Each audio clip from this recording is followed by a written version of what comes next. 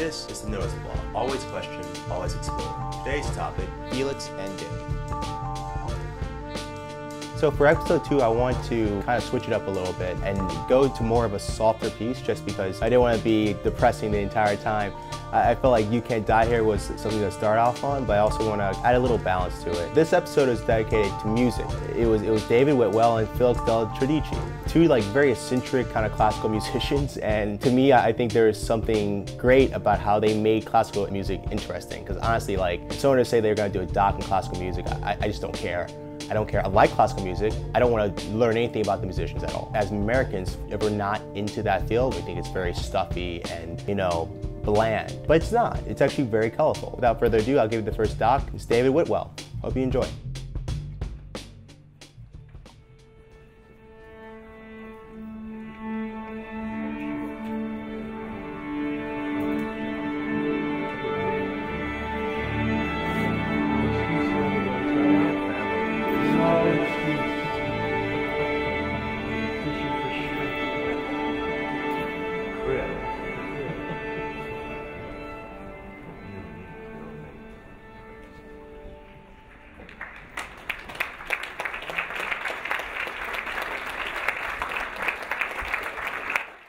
I came in with a lot of ideas already about how I wanted to play, what I wanted to play, um, under what circumstances I wanted to play what I wanted to play, and at a conservatory that doesn't jive super well a lot of the times. All the way up to my very final recital, uh, I was completely nude for one piece. I had a video of myself being waterboarded for another piece. In general, the school really didn't really didn't like a lot of the things I was doing. So, needless to say, This is David Whitwell. He's known internationally as a trombonist, provocateur, and activist. Today, we'll find out why Dave isn't wearing shoes, and how classical music can sometimes be revolutionary. culturally, socially, politically, it's done all of those things in the past.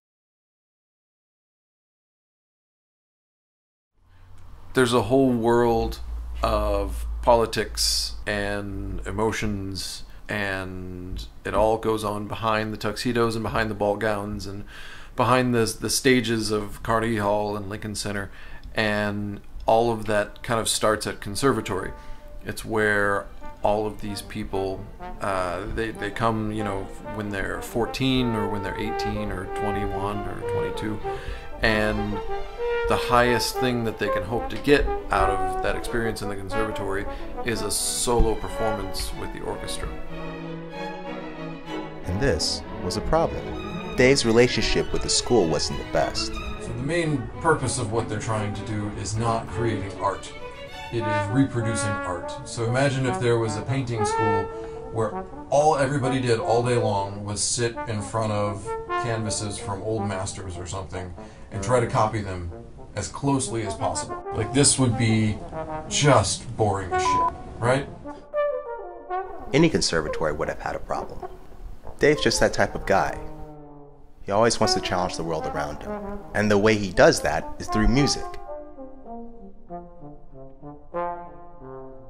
So I had been working on the Darius Milhaud trombone concertino for about four years at that point. If I'm being completely honest, I really don't like this piece. However, if I was gonna win this competition, I had to play something in the standard repertoire. It was considered very modern at the time. I'm trying to make it 2015 modern, not 1950s modern. When I perform, I don't really concentrate on being technically perfect. The audience doesn't care, you know, if you play a note in one position or as opposed to another position. As long as you're telling a story with what you're playing, that's what people pay to see. When you do a jazz performance, you get, you know, people clapping, people yelling, people, you know, being really positive and encouraging while you're playing. And that's something I really enjoy. But in art music situation, if you were to look at the judges during during this, you would have seen uh, arms crossed, perhaps somebody jotting something down on a piece of paper, and that is it. Just stone cold silence. The only feedback you really ever get is uh, when they tell you you've won or you've not won. I had a, a lesson with my teacher, and actually, um, I, I, I, I went to the bathroom during my lesson, and on the way back, I, I saw the announcement that, that I had won. And it's something that, just in general, in conservatories, trombonists don't often win these kinds of competitions. But this isn't where the story ends. The whole point was to push the boundaries of art music. And that's exactly what Dave was going to do with this performance. And here is how he did it.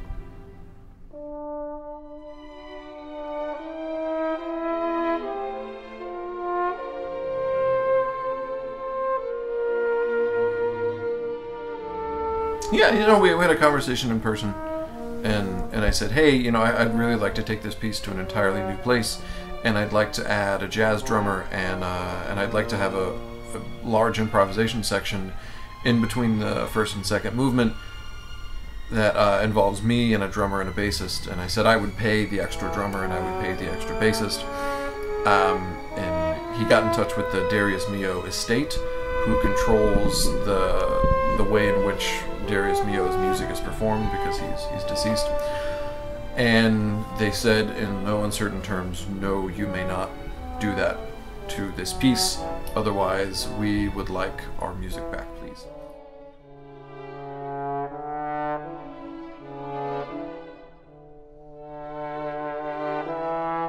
After I figured out I wasn't allowed to add large improvisation section, and I wasn't allowed to add more instruments, um, I, I, dove into all the articulations and the actual fabric of the music. Um, I, I, cranked up the tempo probably by about 25 to 35 percent. At at one point, the the conductor told me like, look, this is this is you know the, the pedal is to the metal. This is as fast as we can go, and I sort of had to I had to compromise on a on a few things in that regard.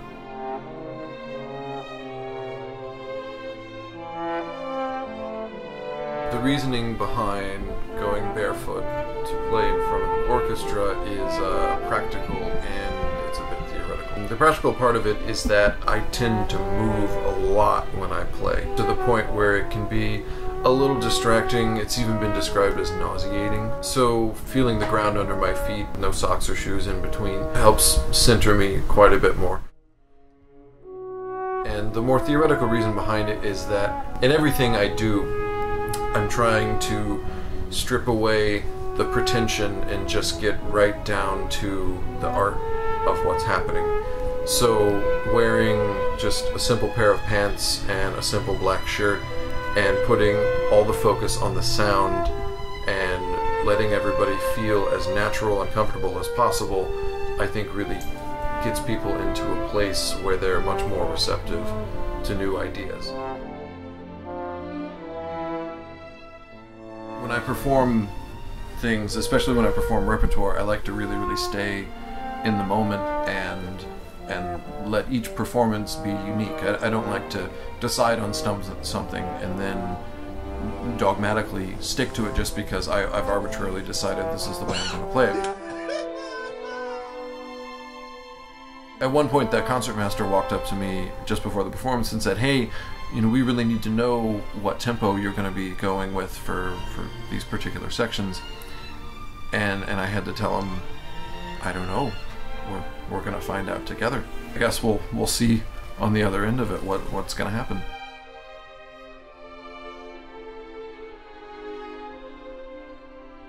Classical music is pretty much fucked. If the idea of making a living playing an instrument really, really well and in a really interesting way is to survive, we have to begin to be more relevant. Classical music can communicate in ways that other types of art never really, really can. It's, it's one of the most abstract and one of the most subtle ways of communicating artistic ideas that, that that there is. But right now, the field is stuck in this quagmire of preservation as opposed to this, this uh, a festival of new art and new ideas. And I think that if we're brave enough and if we play brave enough music and interesting enough music, we can foment revolution and we can make ourselves relevant today.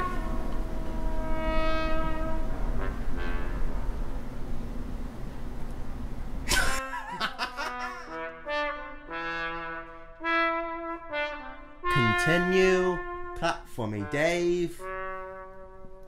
Claps and there we are. It is now rolling. The film, audio,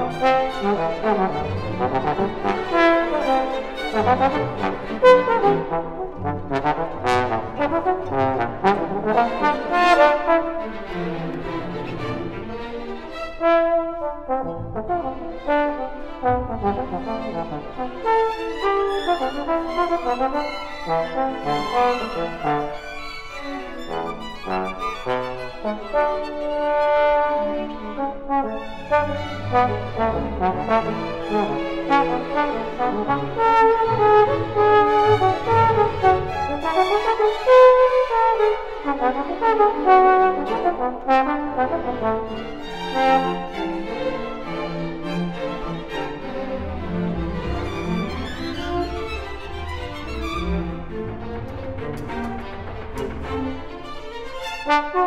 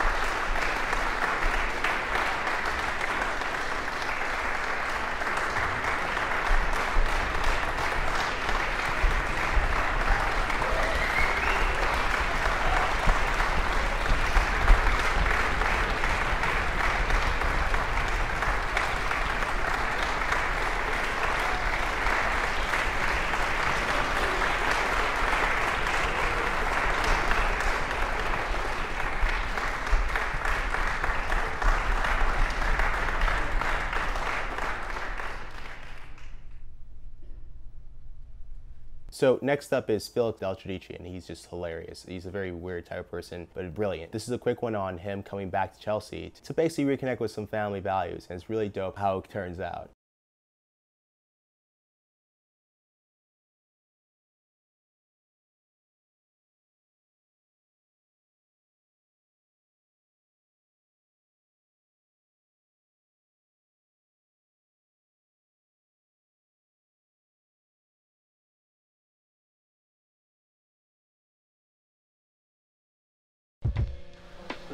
Something like, if I feel bad, I can play music.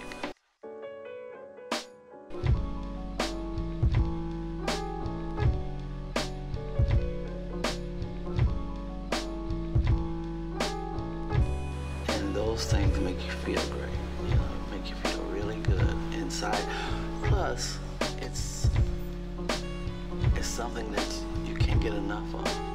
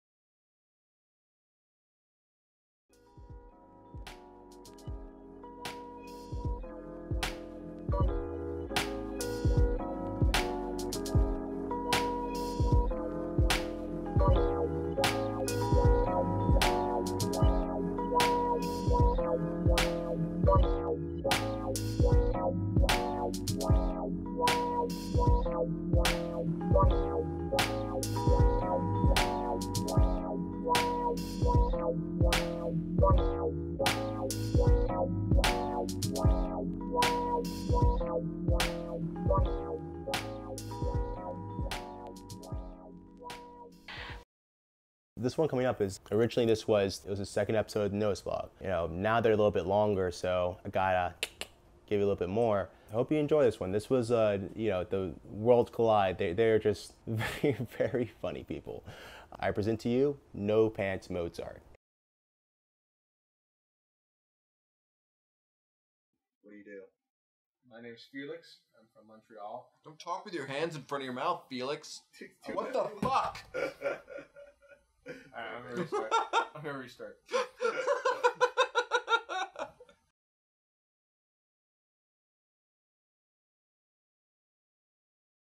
Cameras up there. Yeah, Just be it's like two naked. hands. Yeah. All the way? Yeah. Then we can't put it on YouTube. We can put it on Vimeo. Only filmmakers use Vimeo. What I do could wear a bathrobe. How about you wear a bathrobe while I wear my underwear? I, I like the underwear idea. Oh, my bathrobe's out out with the wash. Yeah, we have do you guys want to take an ice cream break? Yeah, I'm down with that.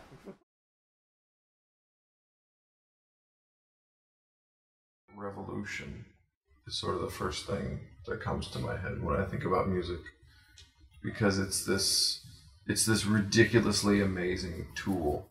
It's like this magical crystal the whole world is using for doorstops. You know, I mean, look at all the shit that's going on every day um, I don't really know how to react to it, and I feel like I should react. And for me, it's always just like I'm just sitting here with my trombone, you know, playing long tones. And so right now, uh, I'm trying to figure out where where this and where I fit into that kind of just in any kind of general way. That's a statement. That's a that's an honest statement about how I feel. So how do I feel about what's actually going on? How do I stand on all these issues?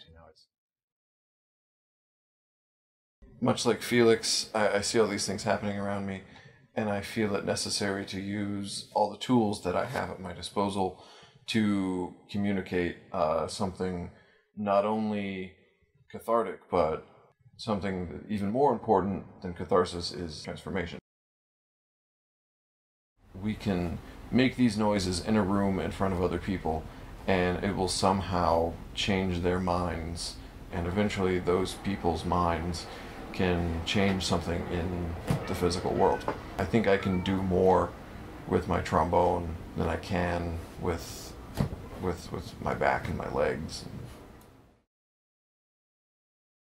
it has a lot of ghosts in the room, and there's a lot of things you can't do just cuts. Yeah, I mean, there's uh, the, the the word dogma comes to mind. I'm very, very, very sensitive to dogma.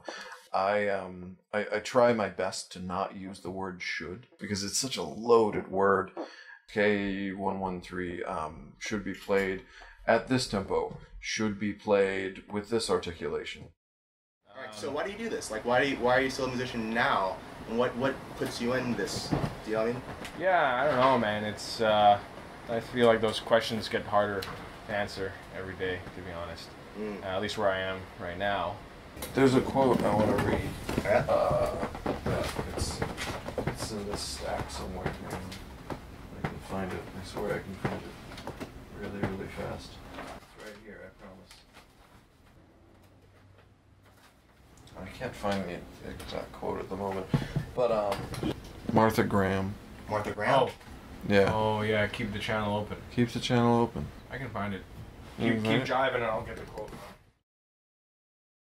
Yeah, this Martha Graham quote. Uh, our teacher Dave Taylor turned turned me on to this quote. Um, Martha Dave Taylor. Dave Taylor was is was our teacher, arguably the greatest bass trombone player that ever lived. It's a lot easier to name the people in the orchestras that he hasn't played with. For me, a life changing force of nature, man. You know, when I heard him, it was really just that moment where I said, "Okay, that's it's gonna be okay." If you, as a trombone player, can do that, you know, have the courage to stand up in front of a bunch of people and do that with your instrument, it uh, was great because he kind of changed my relationship to the instrument. Like I, I never thought of, you know, I don't know. You have to kind of mark a point where you start thinking of your trombone as more than just the trombone, as like an amplifier of your voice of what you want to say on the inside.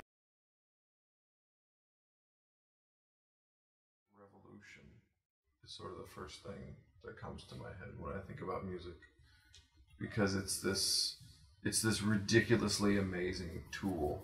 It's like this magical crystal that the the whole world is using for door.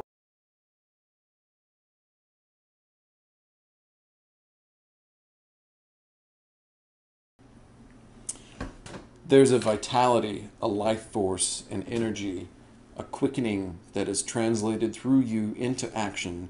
And because there's only one of you in all of time, this expression is unique. And if you block it, it will never exist through any other medium and it will be lost. The world will not have it.